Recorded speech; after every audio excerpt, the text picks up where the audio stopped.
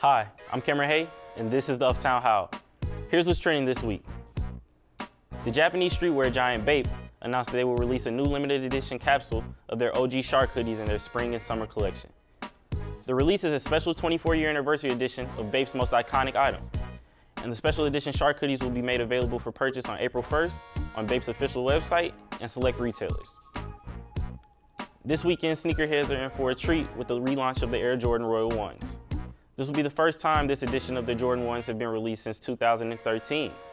The classic royal blue and black silhouette has become a fan favorite over the years, and sneakerheads across the world will be vying for a pair. The shoe will release this Saturday, April 1st, for $160. And another highly anticipated sneaker release this Saturday will be the Alexander Wang and Adidas collaboration for the AW Ball sneaker. The sneaker features a high top basketball silhouette and elastic collar around the ankle. The sneaker also features the Boost technology that has become popular with recent Adidas releases such as the Yeezys and Ultra Boost. Well, that's all I've got for this week. Be sure to like us on Facebook and follow us on Twitter and Instagram for more news. Thanks for watching.